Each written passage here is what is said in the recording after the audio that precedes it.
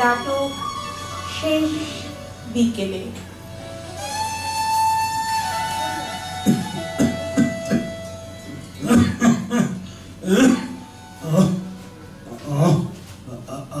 আরে বাবা একটু একটু জল, গলাটা শুকিয়ে গেছে।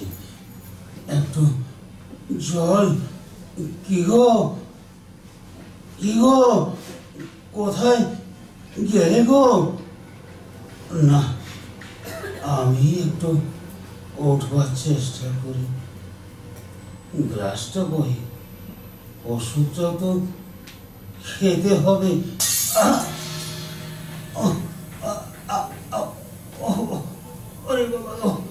আরে আ- আ- আরে কি হলো গো এ কি তুমি নিচে পড়ে গেলে কি করে আহ! আহ! তুমি চলে গেলে আমার তেষ্টায় গলা শুকিয়ে গেছে একটু জল খাব বলে। আরে আস্তে আস্তে। ও ওঠো ওঠো। আমাকে শক্ত করে ধরো। আস্তে আস্তে আস্তে ওঠো। না তুমি একা তুলতে পারবে না।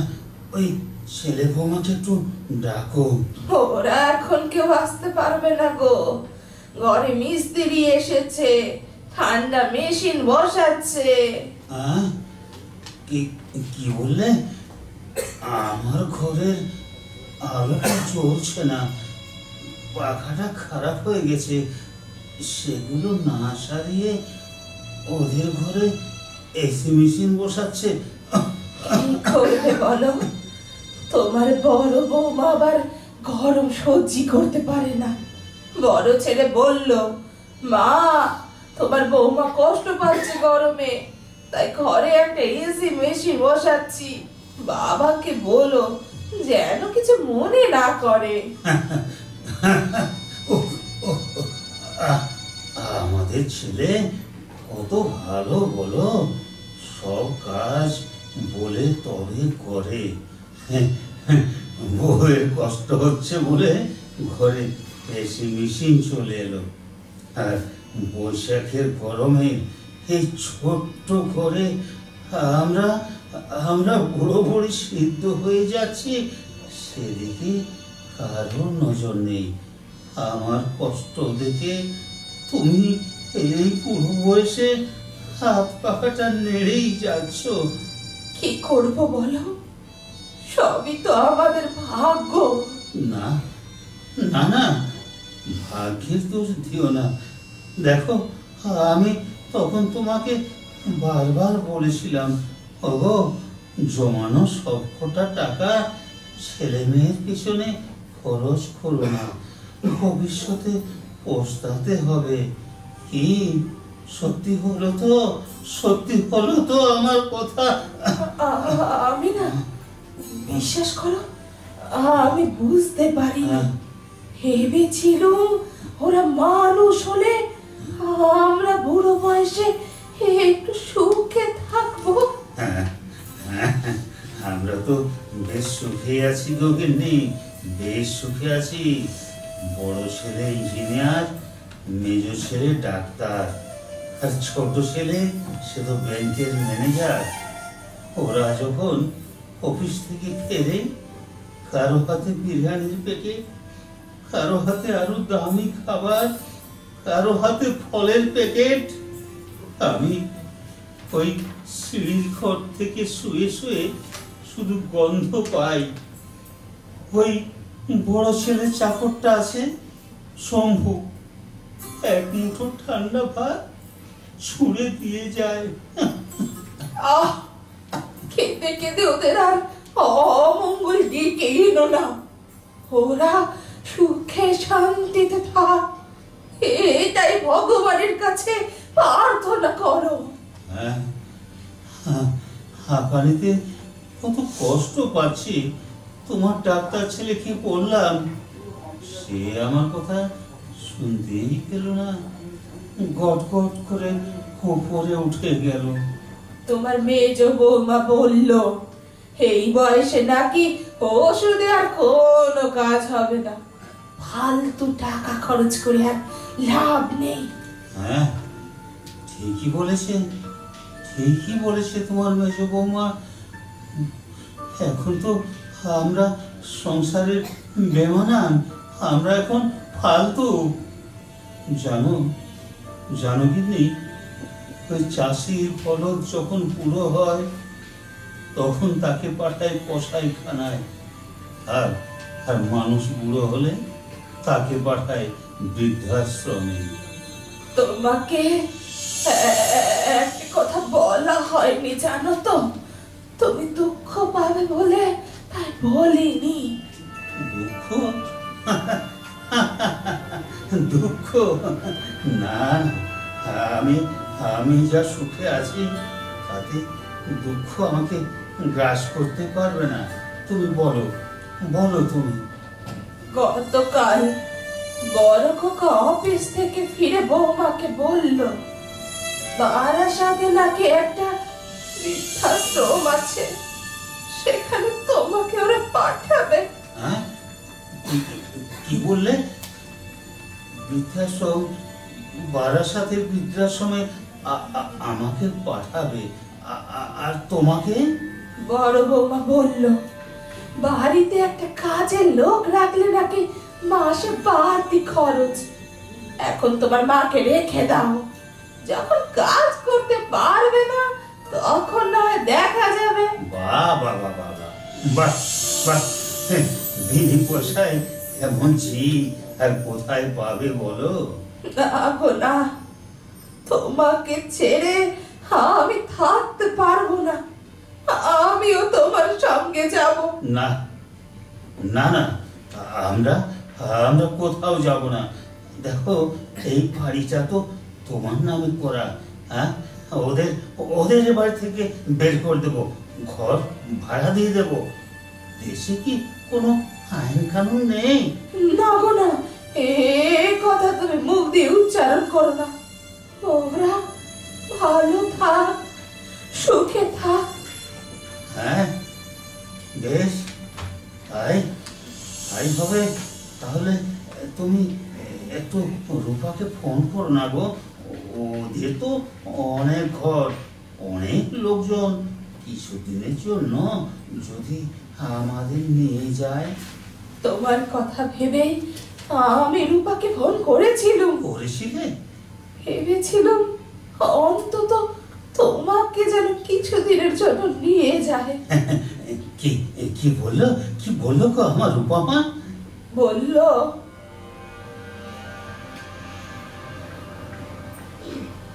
হ্যালো হ্যালো আমি কলকাতা থেকে বলছি। তুই রূপা তো? হ্যাঁ কে? মা? ও বলো কি বলবে? তোরা সবাই ভালো আছিস তো মা? হ্যাঁ ভালো আছি। তুমি কি বলবে বলো? আমি এখন খুব ব্যস্ত। বলছি তোর বাবা? বাবা? কি হয়েছিল বাবার? আজ কতদিন হলো? রূপা! ছি ছি ছি ছি ছি। তুইও তোর বাবার মরণ চাইছিস। হ্যালো মা! মা তুমি কিছু মনে করো না। তুমি সকালবেলা হঠাৎ ফোন করলে তাই ভাবলাম। থাক মা থাক। আমি রাখছি। হ্যালো মা!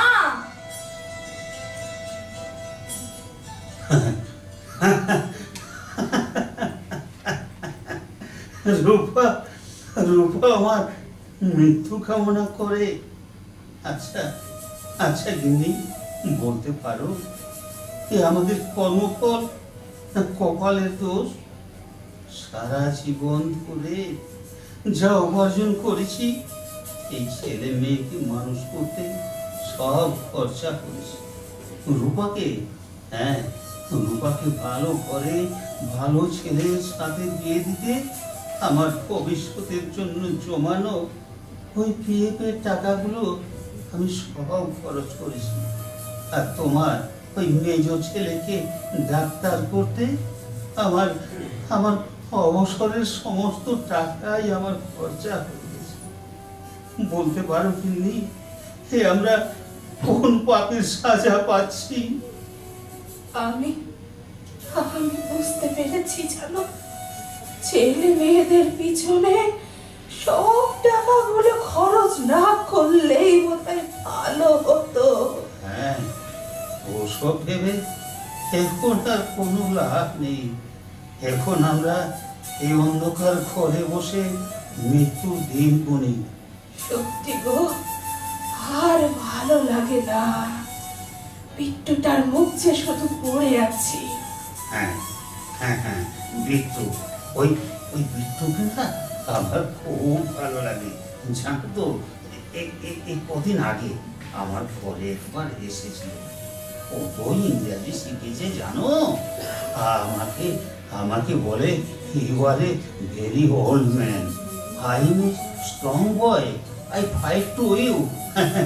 আমাকে করে মারলো।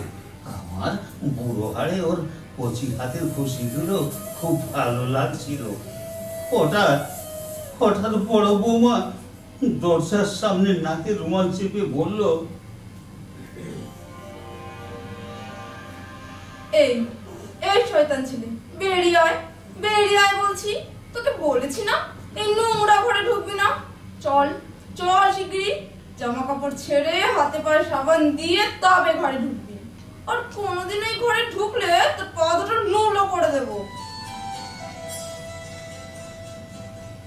গিন্নি আমরা আমরা এখন নোংরা আবর্জনা হয়ে গেছি। আহ! হয়ে গেছি। চুপ করো তো। ওরা বললে কি আমরা নোংরা আবর্জনা হয়ে যাব? এ বাড়ি আমাদের। আমরা কারও দয়া এই বাড়িতে বাস করি না। ওদের ওদের কোনো কথা তুমি কান দেবে না। ও তো আশা নিয়ে ওদের বড় করেছিলাম। সব আশা সব স্বপ্ন ভেঙে চুরমার হয়ে গেল। তবুও তো আমরা অনেক ভালো আছি গো। স্টেশনের কোনায় রাস্তায় ফুটপাতে ছেঁড়া ময়লা কাপড় পরে কত বুড়ো বুড়ি দিন কাটাচ্ছে। আমরা তো তাদের চেয়ে ভালো আছি। হ্যাঁ হ্যাঁ হ্যাঁ নিশ্চয় নিশ্চয় ঠিক বলেছ তাদের ছেলে বউরা ঘর থেকে তাড়িয়ে দিয়েছে। সে তুলনায় আমরা সুখেই আছি। নাও নাও শুয়ে পড়ো। অযথা চিন্তা করে শরীরটাকে খারাপ করো না তো। নাও শুয়ে পড়ো। আমি হাওয়া করছি। তুমি তুমি এইভাবে আর কতক্ষণ হাওয়া করবে? তোমার তো শরীর ভালো নেই গো। আমি তো ঠাকুরের কাছে দুবেলা প্রার্থনা করি গো যাতে ঠাকুর আমাকে তুলে নেয়। হ্যাঁ তোমাকে তুলে নিলে তুমি বেঁচে যাবে। তারপর তারপর তোমার এই বুড়োটার কি অবস্থা হবে একবার ভাবলে না? অযথা বাজে কথা না ভেবে ঘুমাও বলছি। ঘুম ঘুম যে আসে না গো নানান চিন্তায় চোখের পাতা দুটো কিছুতে এক করতে পারি না। কেন তুমি বাজে চিন্তা করছ বলো দেখিনি? তুমি কি পারবে তোমার ওষুধ এনে নিতে পারবে রিপোর্টে কি বলছে জেনে নিতে? কেন? তোমার মেয়ে ছেলে তো ডাক্তার সেই তো সব বলে দিতে পারবে। ডাক্তার? না চাই। বউয়ের গোলাম হয়ে বসে আছে। বউয়ের হুকুম ছাড়া এক পাও নড়ে না। আমার একটা কথা মনে পড়ে গেল। তোমার মেজ ছেলে যখন তোমার পেটে তখন একদিন রাত্রে বিছানায় শুয়ে তোমার পেটে কান পেতে কি বলেছিলাম? তোমার মনে আছে? বুড়ো বয়সে ঢং করো না তো শুয়ে পড়ো। দেখি বড় বউ বাবা ডাকছে কেন শুনে আসি। আরে পরে যাবে আগে বলো না তোমার মনে আছে কিনা? তা থাকবে না কেন? তখন তো তোমার আর ঢঙের শেষ ছিল না। কাজ থেকে এসেই তোমার আর ধৈর্য ধরতো না। বদমাইশি শুরু করে দিতে। হ্যাঁ, সত্যি সত্যি কিনি সেসব দিনগুলো কোথায় হারিয়ে গেল? বুড়ো হওয়ার এত জ্বালা এত যন্ত্রণা বুঝতে পারিনি। আমি যদি রাস্তায় হাঁটতে পারতাম সব কটা বুড়ো বুড়িকে ডেকে জিজ্ঞাসা করতাম তোমরা তোমরা বলতে পারো তোমরা কজন ছেলে বউয়ের কাছ থেকে সুখে আসো না কেউ সুখে নেই। তুমি বেশি বক বক করো না তো চুপ করে শুয়ে থাকো। আমি যাব আর আসব। বড় বৌমা কেন তোমাকে ডেকে পাঠিয়েছে আমি জানি। কি জানো? শম্ভু শম্ভু একবার নিচে নেমেছিল। বলল ক্ষীর আর দুধ আনতে যাচ্ছি। বৌদি আজ পায়েস বানাবে। তাই ভাবছি তোমার হাতে হয়তো আমাদের জন্য কিছুটা পাঠাবে। তোমার এত নোলা কেন গো? দয়া করে যা দিচ্ছে তাই কে বেঁচে থাকো। আর বয়স হয় না। আমি আসছি। যাও তাড়াতাড়ি যাও। উফ অনেকদিন পায়েস খাইনি যাই একটু হাতে মুখে জল নিয়ে আসি।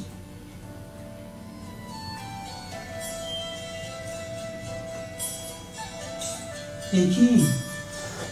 তুমি খালি হাতে ফিরলে বড় বৌমা পায়েস দেয়নি? চুপ করো। তুমি চুপ করো তো। অত কাই কাই করো কেন? গিন্নি তুমি? বড় বৌমার বাপের বাড়ির লোক এসেছিল। অনেক কিছুর সঙ্গে পায়েস রেঁধে খেয়েছে সবার খাওয়া শেষে অবশিষ্ট পায়েসটুকু রান্না করে নিয়ে যেতে ছিল সেটা বেড়ালে খাচ্ছিল বৌমা দেখতে পেয়ে বেড়ালটাকে তাড়িয়ে দেয়। শম্ভুকে বলে, এইটা পেলে না দিয়ে নিচের পুরোটাকে দিয়ে দে। বেড়ালের এইটা খেলে নাকি পুরোতে কিছু হবে না। শম্ভু প্রতিবাদ করে বলে, তাই ওকে থাপ্পড় মেরে পায়েসের বাটিটা মেঝেতে আছাড় মেরে ফেলে দেয় বোকা বোকা গো শম্ভুটা ভীষণ বোকা। দেয়ালে খাওয়া ওই পায়েসটা এনে দিতে পারতো। এত কষ্ট পাওয়ার থেকে দেয়ালে খাওয়া পায়েস খেয়ে আমি একটু তাড়াতাড়ি যেতে পারতাম। তুমি তুমি আর কেঁদো না। আ- আ- আজ সকাল থেকে না আমার বুকটা খুব যন্ত্রণা করছে কি বলছো? কি বললে? তোমার তোমার বুকে যন্ত্রণা হচ্ছে? সাবধান সাবধান তিনি। দেখো এবার যদি কিছু হয়ে যায় তাহলে তাহলে তুমি আর বাঁচবে না। আর তুমি না থাকলে আমার যে সব অন্ধকার হয়ে যাবে। তবুও আমাকে শাখা সিঁদুরে মরতে দাও। তোমাকে ফেলে রেখে মরতে আমার খুব কষ্ট হবে। তবুও তুমি আমার এই অনুরোধটুকু রাখো। আমার বুকের যন্ত্রণাটা আমি আর সহ্য করতে পারছি না গো। না না না না, তোমার বুকে আর কোনো যন্ত্রণা থাকবে না। আমি আমি বাড়ি বিক্রি করে তোমার চিকিৎসা করাবো। বাড়ি বিক্রি করা সব টাকা দিয়ে তোমাকে আমি বাঁচাবো। হ্যাঁ হ্যাঁ তোমাকে বাঁচাবো। প্রয়োজনে ওই রাস্তায় পড়ে থাকব তবু তবু তোমাকে আমি মরতে দেবো না। তুমি কি পাগলামি করছ? শুয়ে পড়ো শুয়ে পড়ো বলছি। ওই দাও আমার আমার দলিলটা কোথায়? বলো কোথায় রেখেছো? দাও দলিলটা দলিলটা দাও। দলিল? হ্যাঁ। দলিলটা তো বড় বৌমা। হ্যাঁ? বড় বৌমা? কি কি করছে বড় বৌমা? বড় বৌমা? আমাদের বাড়ির দলিলটা আলমারির তালা ভেঙে চুরি করেছে। কি কি বললে? দলিলটা চুরি করেছে? কই তুমি তো আমাকে আগে বলনি। বলিনি তুমি কষ্ট পাবে বলে। ওই দলিলে ওরা আমাকে চোর করে পুরো আঙুলের চাপ নিয়ে নিয়েছে। না না না এ হতে পারে না এ হতে পারে না এ- হতে পারে না। তুমি চুপ করো। তুমি চুপ করো? কি যন্ত্রণা গো? কষ্ট- হচ্ছে? কি গো তুমি একটু শুয়ে পড়ো। তুমি একটু শুয়ে পড়ো।